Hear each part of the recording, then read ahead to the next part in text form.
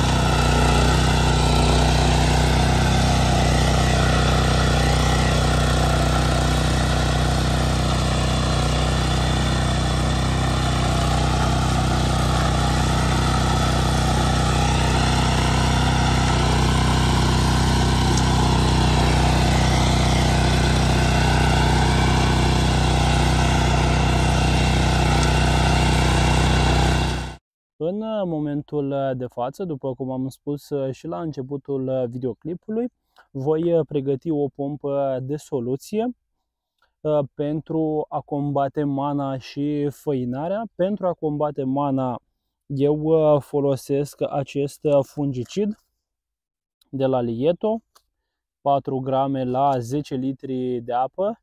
Trebuie să veniți mai aproape ca să vedeți exact despre ce fungicid este vorba.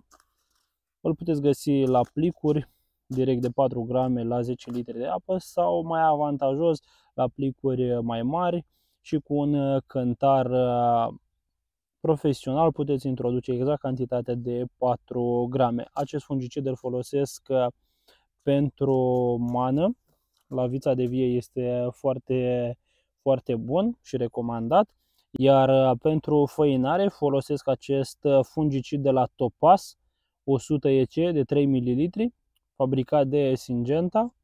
foarte bun și recomandat pentru făinare la vița de vie, dar poate fi utilizat și la pom fructiferi, cum ar fi uh, păr, măr, gutui, cei care fac de obicei făinare. Acest fungicid costă aproximativ 5 lei 3 ml, la fel și lietul de 4 grame tot 5 lei. Mai avantajos este să-l cumpărați la cantitate mai mare, astfel economisiți uh, bani care sunt foarte importanți în zilele noastre. Pentru a stropi eu folosesc această pompă de la Pandora de 12 litri în care introduc 10 uh, litri, fiindcă pompa este gradată până la 10 litri, este foarte practică și utilă. O știți din uh, videoclipurile mele de pe YouTube, unde aveți uh, diverse prezentări cu ea și diverse clipuri în care stropesc pomii fructiferi, nuci, vița de vie și multe altele. Este o pompă ce o dețin de câțiva ani de zile, foarte mulțumit, chiar uit să o mai încarc. Vom introduce circa 5 litri de apă în, în prima fază. Avem uh, acest recipient de 10 litri pregătit pentru a-l introduce în uh, pompă. În prima fază vom introduce, după cum am spus și anterior, circa 5 litri.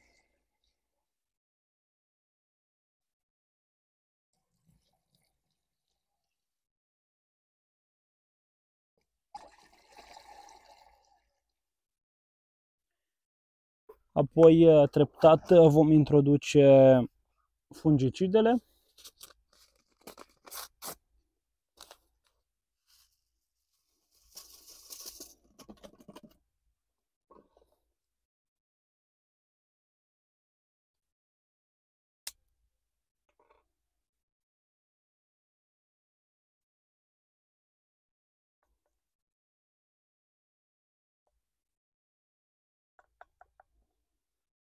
După ce am introdus ambele fungicide, cel de făinare și cel uh, de mană, vom pune bineînțeles sita la loc pentru a evita impuritățile din pompă și vom introduce și restul uh, de apă.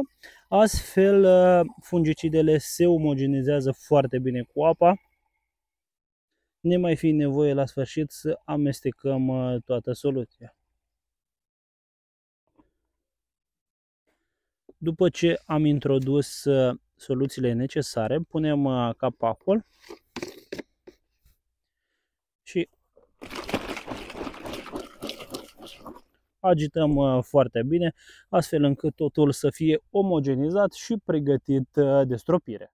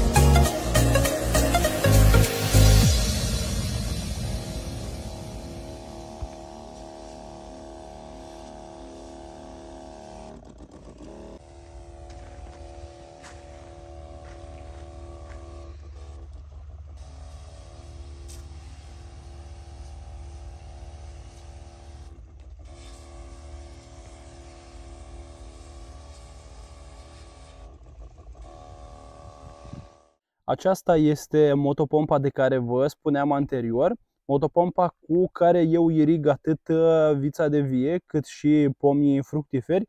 Bineînțeles, uh, sistemul de irigare este prin uh, picurare. Motopompa este o motopompă profesională de la OMAC, modelul MP6500 de 2 țoli. Este o motopompă pe care o dețin de anul trecut, deci are un an de zile de când eu o utilizez intens la pomii fructiferi cât și la vița de vie. Cu această motopompă extrag apă din această fântână de la o adâncime de 7 metri și aceasta este conducta de refulare care iese din motopompă. Am și acest filtru pentru a opri impuritățile către picurătorii viței de vie și a pomilor fructiferi iar această coloană se duce pe sub uh, pământ până la vița de vie care se vede acolo și livada de pomi uh, fructiferi. Este o distanță foarte mare, iar conducta se duce pe sub uh, pământ până la livada de pomi fructiferi și vița de vie. Se pot observa, am dat zoom, Distanța este foarte mare, cred că se poate observa și pe cameră. Sunt aproximativ 300 de metri liniari până la ultimul pom din livadă și diferența de nivel de la motopompă până la livadă este foarte mare, dar din fericire această motopompă își face treaba foarte bine și reușește să-mi satisfacă toate nevoile din gospodăria mea. În primă fază nu am crezut acest lucru, că este posibil, nu o laud sau nu îi fac vreo reclamă ascunsă, însă vă spun uh, cu sinceritate că este o motopompă cu adevărat uh, profesională și puternică, bineînțeles, ce mă ajută foarte mult uh, la irigarea viței de vie și livada de pomi fructiferi. În cele ce urmează voi alimenta această motopompă cu benzină direct de la pompă pentru că este un motor pe benzină în 4 uh, timpi. O vom uh, porni și apoi vom uh, merge la vița de vie pentru a vă arăta exact cum funcționează sistemul de irigare prin picurare. Cu această motopompă extrag din această fântână exact 3200 de litri de apă pe care îi scot în aproximativ 35-40 de minute în funcție de debitul uh, picurătorilor. Vom uh, alimenta motopompa.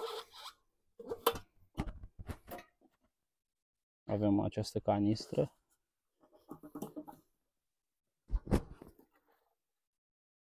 Și îmi ușurează foarte mult procesul de introducere a benzinei în rezervor, fiindcă are acest ștuț flexibil ce se emulează exact după nevoile dumneavoastră. Am cumpărat-o de la Kaufland, am dat undeva la 20-25 de lei pe ea acum 2 ani de zile. O să-i facem plinul.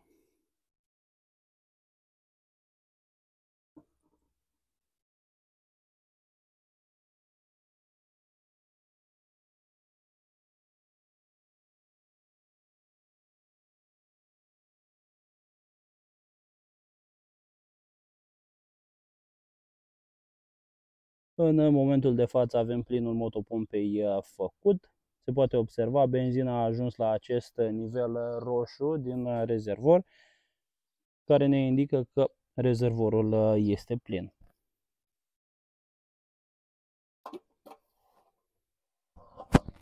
Vom porni motopompa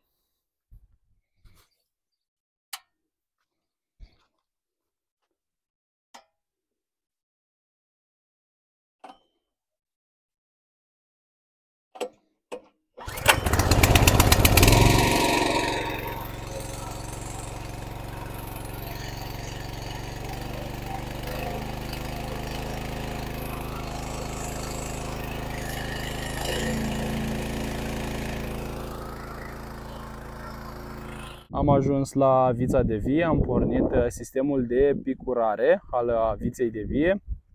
se poate observa că în momentul de față funcționează la fiecare plantă în parte.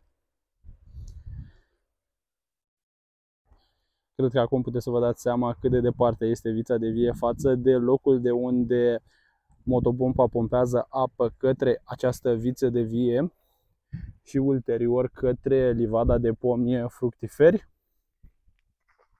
Ce voiam să vă arăt este că țeava ce pleacă din motopompă, adică refularea, vine pe sub pământ până la acest punct.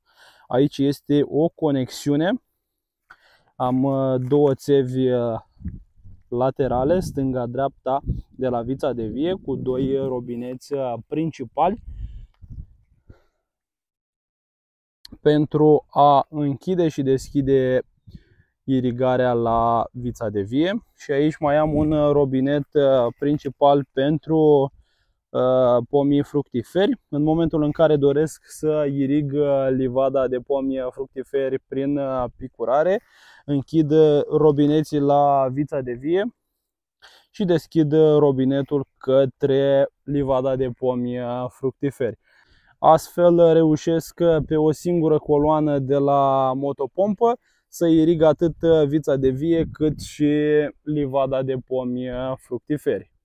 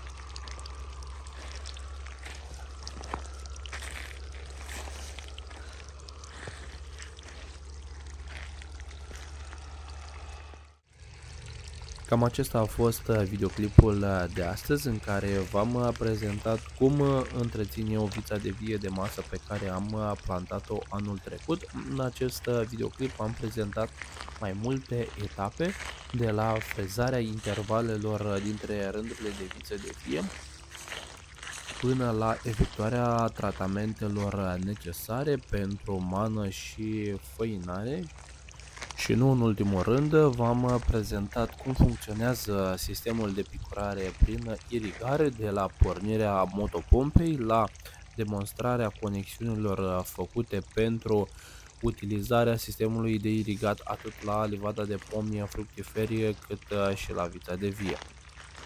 Dacă vă place ceea ce fac eu, nu uitați să dați un like și să distribuiți uh, prietenilor voștri, iar până data viitoare, pentru a fi la curent cu cele mai noi activități uh, din uh, gospodăria mea, dar și cele mai noi unelte pe care eu le prezint, abonați-vă la canalul meu de YouTube, Pupunvasi. Vă mulțumesc și vă urez o zi plăcută!